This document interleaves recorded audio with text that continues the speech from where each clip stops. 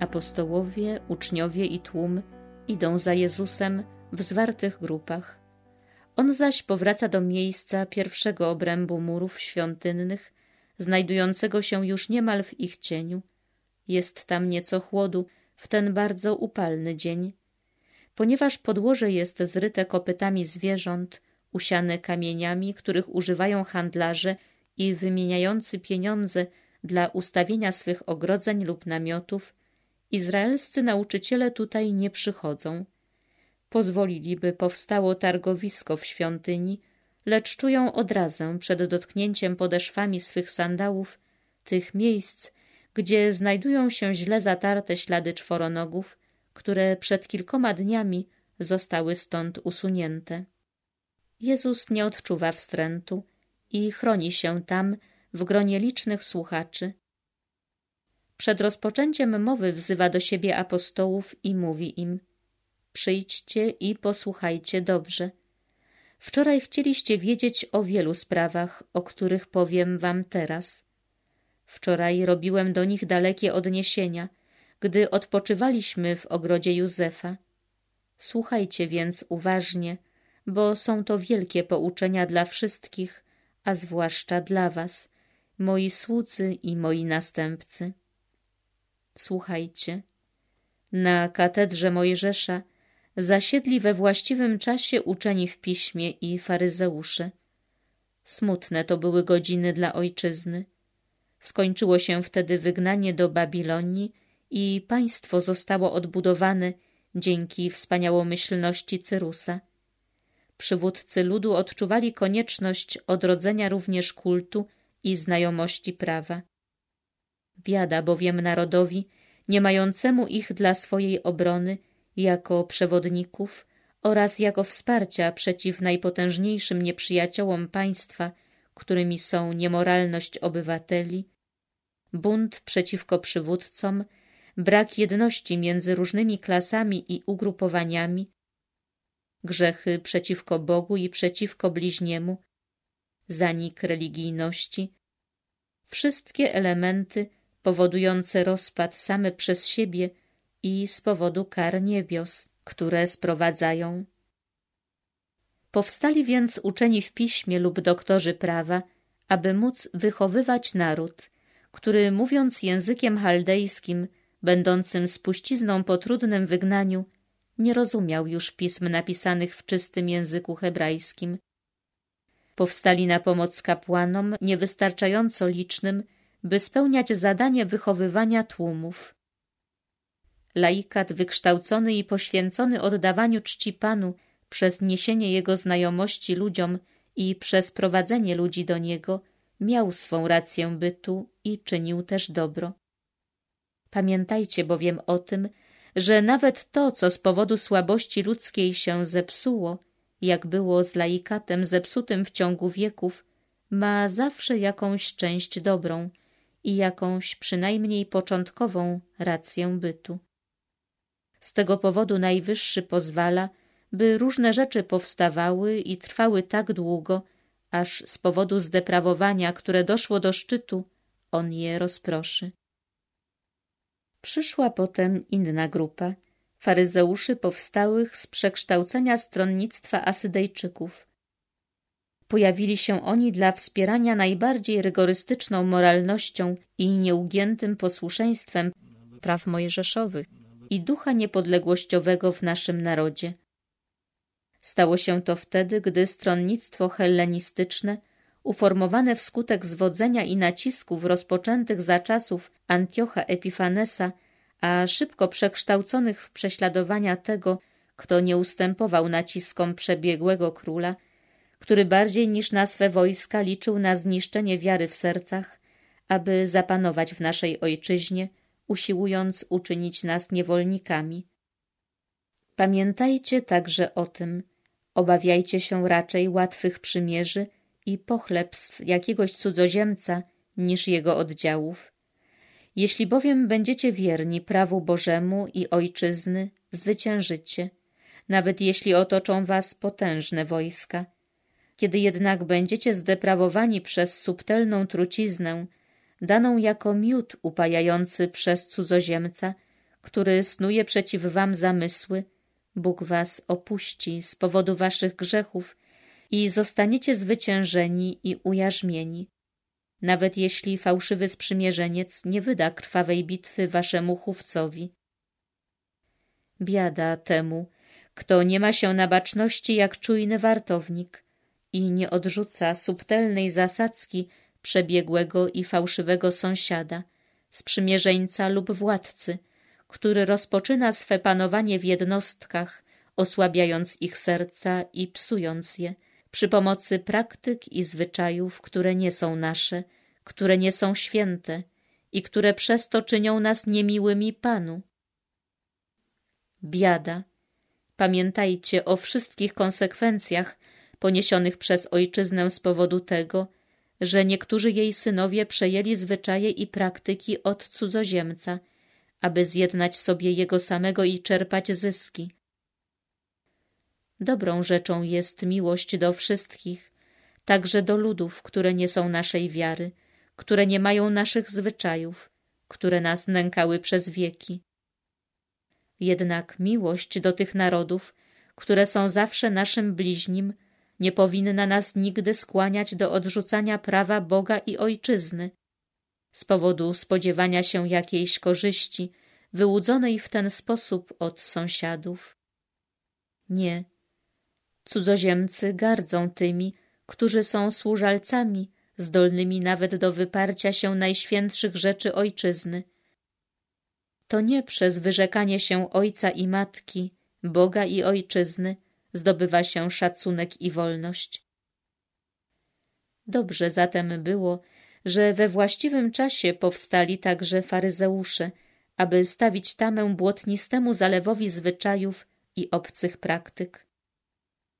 Powtarzam, każda rzecz, która powstaje i trwa, ma swoją rację bytu i trzeba ją szanować przez to, co zrobiła, a nie przez to, co robi. Chociaż obecnie jest występna, człowiekowi nie przysługuje prawo obrażania jej, a jeszcze mniej ranienia. Jest ktoś, kto potrafi to uczynić. To Bóg oraz ten, którego On posłał i który ma prawo i obowiązek otwierać swe usta i wam otwierać oczy, abyście wy i oni poznali myśl Najwyższego i działali sprawiedliwie. Ja i nikt inny. Ja, bo mówię z nakazu Bożego.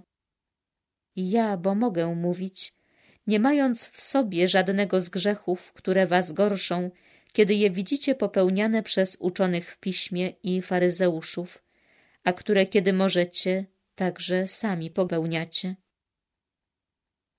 Jezus, który rozpoczął łagodnie swą przemowę, stopniowo podnosił głos, który przy ostatnich słowach ma już moc dźwięku trąb. Hebrajczycy i poganie są skupieni i uważnie go słuchają.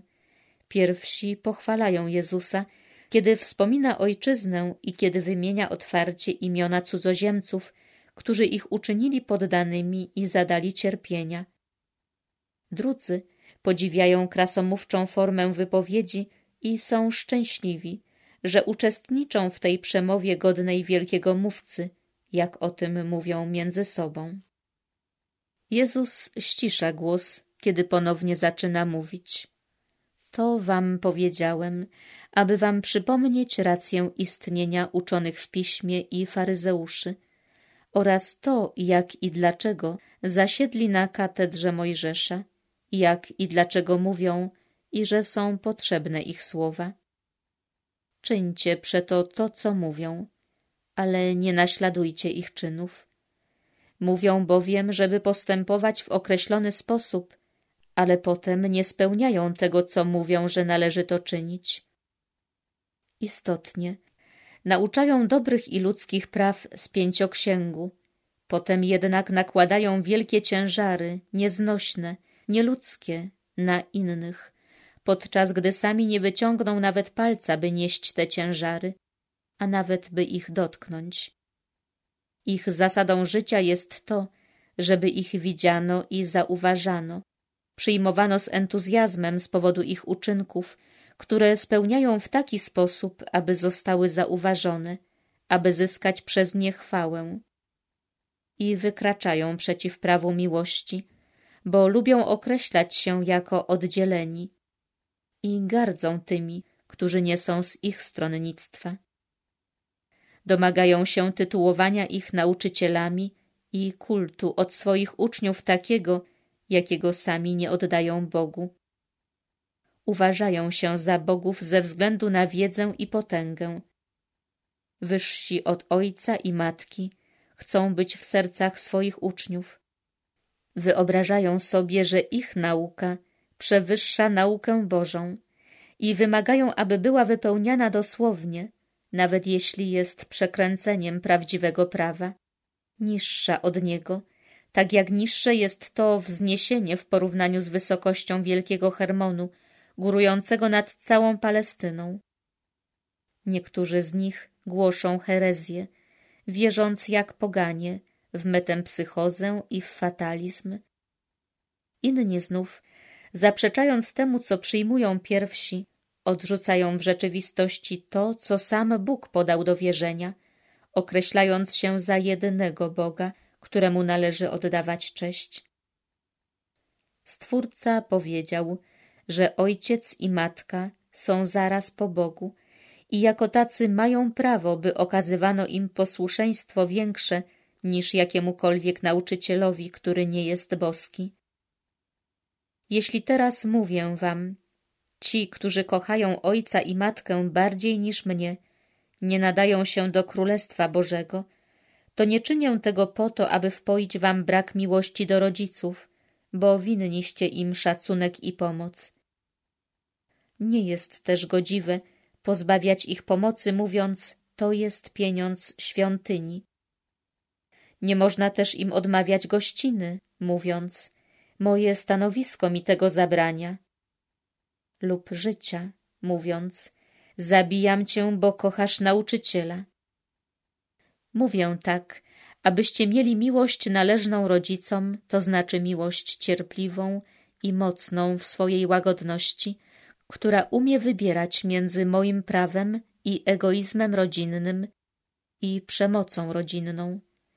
Nie dochodzi ona jednak do znienawidzenia krewnego, który grzeszy lub zasmuca, nie idąc za wami drogą życia, czyli moją.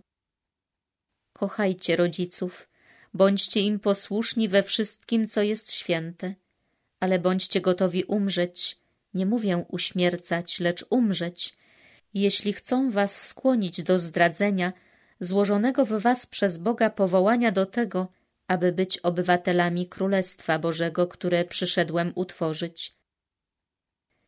Nie naśladujcie uczonych w piśmie i faryzeuszów podzielonych między sobą, chociaż udają, że są zjednoczeni. Wy, uczniowie Chrystusa, bądźcie prawdziwie zjednoczeni, bądźcie jedno z innymi. Przełożeni niech będą łagodni dla podwładnych, podwładni łagodni wobec przełożonych. Wszyscy, zjednoczeni w miłości i dla waszej jedności, dla zdobycia mojego królestwa i znalezienia się po mojej prawicy na wiecznym sądzie. Pamiętajcie, że królestwo podzielone nie jest już królestwem i nie może się ostać. Bądźcie zatem zjednoczeni między sobą w miłości do mnie i dzięki mojej nauce. Szatą chrześcijanina, bo taka będzie nazwa moich poddanych, niech będzie miłość i jedność, podobieństwo między wami w ubiorze, wspólnota posiadłości, braterstwo serc, wszyscy dla jednego, każdy jeden dla wszystkich. Kto ma, niech daje pokornie, kto nie ma, niech przyjmie w pokorze, niech przedstawia pokornie swe potrzeby braciom, wiedząc, że nimi są. Bracia zaś niech z miłością wsłuchują się w potrzeby braci, czując się nimi naprawdę wobec nich. Pamiętajcie, że nauczyciel wasz często odczuwał głód, zimno i tysiąc innych potrzeb i niewygód i że pokornie ujawniał je przed ludźmi. On, Słowo Boże. Pamiętajcie, że otrzymuje nagrodę ten, kto jest miłosierny, nawet za jeden łyk wody. Pamiętajcie, że lepiej jest dawać niż otrzymywać. W tych trzech przypomnieniach niech ubogi znajdzie odwagę do proszenia, nie czując się upokorzonym. Niech pomyśli, że ja czyniłem to przed nim. Niech znajdzie siłę, by przebaczać, jeśli zostanie odrzucony, myśląc o tym, że wiele razy synowi człowieczemu odmówiono miejsca i pożywienia, które daje się psom strzegącym stad. Bogaty niech znajdzie hojność rozdawania swych bogactw, myśląc o tym, iż nędzna moneta, jeśli będzie dana z miłości, przekształci ten ohydny pieniądz podsuwany przez szatana, przyczynę dziewięćdziesięciu na dziesięć nieszczęść świata, w klejnot nieśmiertelny i rajski. Przyobleczcie się w wasze cnoty, niech one będą liczne, a znane tylko Bogu. Nie postępujcie jak faryzeusze. Noszą oni szersze filakterie i dłuższe od innych frędzle i lubią pierwsze miejsca w synagogach i ukłony na placach i chcą, by lud nazywał ich rabbi. Jeden jest nauczyciel, Chrystus. Wy, którzy w przyszłości będziecie nowymi doktorami, mówię do was, moi apostołowie i uczniowie, pamiętajcie, że ja tylko jestem waszym nauczycielem i będę nim nawet wtedy, gdy nie będzie mnie już pośród was. Jestem bowiem samą mądrością i dzięki niej pouczam. Nie każcie więc nazywać siebie nauczycielami, bo sami jesteście uczniami. I nie wymagajcie, by was nazywano, ani nie nazywajcie nikogo na ziemi ojcem, gdyż jeden jest ojcem wszystkich, ojciec wasz, który jest w niebiosach. Niech ta prawda uczyni was mądrymi, abyście wszyscy poczuli się braćmi, tak ci, którzy kierują, jak i ci, którymi się kieruje. I miłujcie się z tego powodu, jak dobrzy bracia. Ani niech nikt z tych, którzy kierują, nie każe nazywać się przewodnikiem, gdyż jedyny jest wasz wspólny przewodnik, Chrystus. Niech największy pośród was będzie waszym sługą. Bycie sługą sług Bożych nie jest upokorzeniem, lecz naśladowaniem mnie, który byłem cichy i pokorny, zawsze gotowy do miłości względem moich braci co do ciała przez Adama i do udzielenia im pomocy potęgą, jaką mam w sobie jako Bóg. Nie poniżyłem się w boskiej naturze, służąc ludziom. Prawdziwym bowiem królem jest ten, który potrafi panować nie tyle nad ludźmi, ile nad swoimi ludzkimi rządzami, z których pierwszą pośród wszystkich jest głupia pycha. Pamiętajcie, kto się poniża, będzie wywyższony, a kto się wywyższa, będzie uniżony.